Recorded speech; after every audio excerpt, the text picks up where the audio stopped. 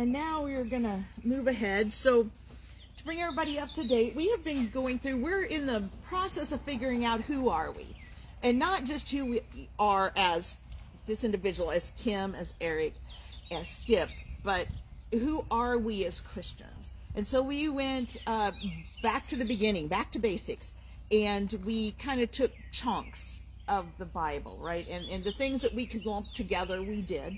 We got through the first five books mostly uh, of those Hebrew scriptures. We got through those. We talked about uh, being Abrahamic religions. We moved on into the New Testament and talked about each gospel and Acts. And then we talked about the letters. And today we are just going to touch on on Revelation. And here's what I need you to know: is I cannot explain Revelation in under 10 minutes. Okay, so you are going to get the the snapshot, right? And um, I'm sure because there were others other books that people were like, you know, I'd like to dig deeper into that. So that will come at some point. But right now we're just doing snapshots. Um, it's hard to take what you know from um, from the resources you have sometimes and and make them concise. But if anybody really wants to read about Revelation, this is an amazing book by N.T. Wright, great theologian. It's called Revelation for Everyone. It's like he's sitting in the room talking to you. So he's explaining um, the things. That's that's one good one, and we're gonna um, end with just a message out of the end of that book. And then this is another one, a little bit more uh, academic, but still not overly so by Warren Carter and Amy Jill Levine, uh, The New Testament Methods and Meanings. So it goes through every book and tells you a little bit like what kind of genre is it? When was it written? Uh, what is the message that came through here? And how did the people then interpret it? So another good book. Um, and we've got a little bit out of that as well. But first, we're going to start, and, and like I told Maylee, Revelation. That's the first thing my rev, my we have a class as you're being educated for this you have a class solely on revelation because it's so so revelation and that's the first thing the professor said revelation no but no s's in here. Um, so remember that and it's because it is one revelation right? One revelation. Um, it is most probably written by a. John but not the John we think of uh, as the disciple, but another John. Remember uh, when we why we often say Jesus Christ or Jesus the Christ or uh, Jesus from Nazareth. There's a lot of Jesuses at the time that, who have those names. There's a lot of Johns. There's a lot of Marks and Matthews. So sometimes it's hard to set these folks apart. And um, this is either uh, he's also called John the Seer, John the Divine, different, um, just different names to try to set him apart from the other Johns that they might have known at the time. Um, the tradition is that this book was written in the late 90s, but recently, after some more scrolls have been found, there's been further research. They really think it might be like late 60s. So even before some of the Gospels were written.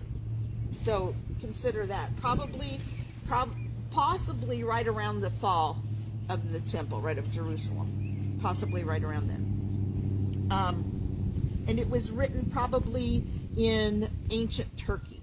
Just because of the words that are used and the, the way it's written, it's language from that area that that language is written in in the original text. Now, it is an apocalyptic writing. Okay, it's an apocalyptic book. Now, that doesn't mean that it's all gloom and gloom and all the things, right? Because apocalyptic just means it's something, it's that revelation, it's something new. Now, our um, our language is really hard. The English language sometimes is hard to say words and and we'll talk about a little bit about some of the words that are used for revelation how sometimes it's hard to understand them in english which we've talked about before um, the ancient Jewish tradition did not believe that there was a separation between earth, between us, and heaven, and that there was this big firmament in between, right? They believed that we that, that things were, uh, were not separate, but instead were melted and merged together. So again, that leads us to help us interpret what they saw this book as being. Now, the ancient Jews also struggled because they there are there are multiple sides to this story, right? And they struggled to see which one was the one they were really supposed to understand because they only wanted to understand one story, right? It's like us. We we like I mean, I do. I like my side of the story, right? The way I interpret things. And I'm sure you're the same way. But they were having a hard time having an open mind to be in discussion about what that could be. So they struggled according to their traditions, according to um, their theology, that and some had no theology. Remember, we're in this time of flux in that first century. They might not have been Christ followers or Jews, but were instead people that were considered of no religion or had a pagan, what we call now a pagan religion, right? At the time, it wouldn't have necessarily been a pagan religion. It would have been one other than the the accepted religions. But there's four things that Revelation does tell us. Um, and and in the story, repetitively throughout the story, we hear these things that the story comes from God, goes through an angel, goes through John, and goes to the churches, right? Now, we hear him talk about, we heard uh, Keaton read about the seven churches, but it wasn't just to the seven churches. Yes, it went specifically to that, but that's really only the focus of like chapter 2 and 3, right? The rest of the revelation, as well as those letters, went to all the churches that they could touch with that story, that they could deliver to that story. So um, we often like to just put, you know, put things in the little boxes, and and these boxes are more like that big refrigerator box instead of the little gift boxes that we stuff inside of it to keep for that we never use for the Christmas gifts we think we're going to use, right? So this is the big box. Um, first of all, it is a letter.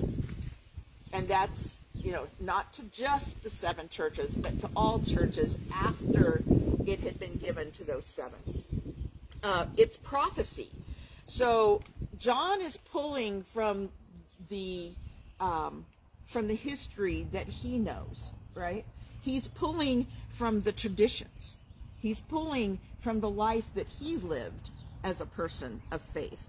And um, he's doing this because, and he's he's calling to God to, you know, give him a word because he is a prophet of God's purpose.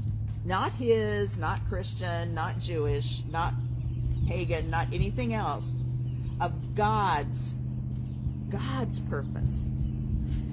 So witness is that one of those words that is really hard to to make a distinction of from uh, original language to today's language to English, okay, to American English especially.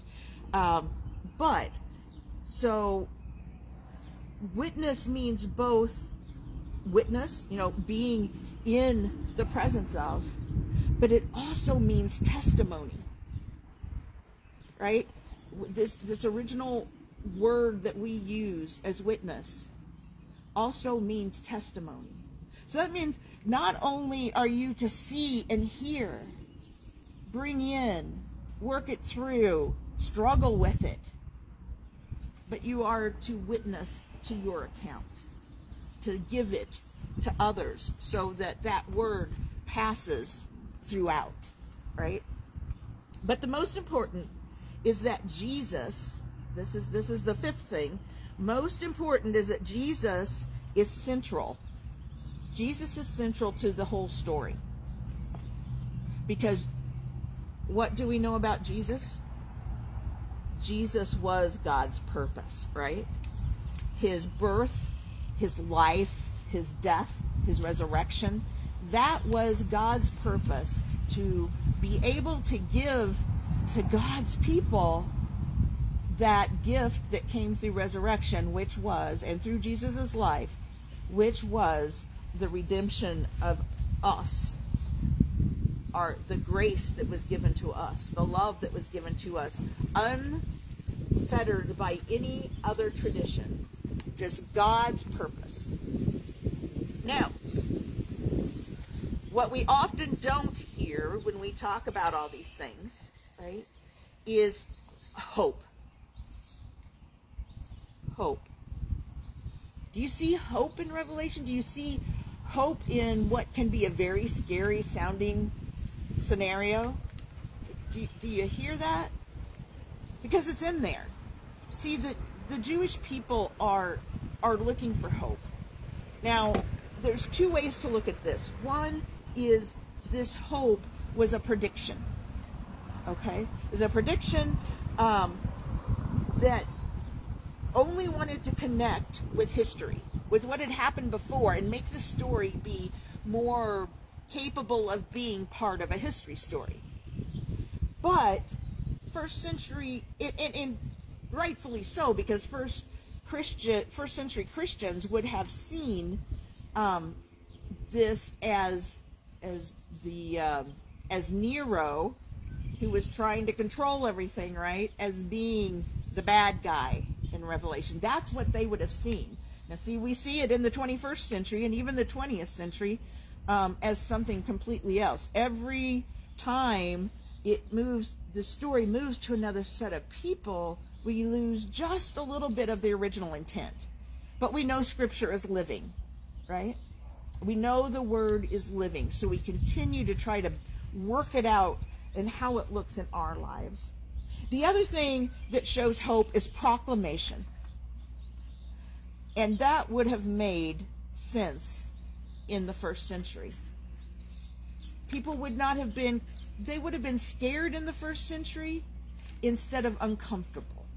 So if they were going to set out and say, Jesus is the central part of this story and Jesus is my savior. Yes, there's some there's retaliation from government authorities that were scared of this, right? And scared of this power. But they did it anyway.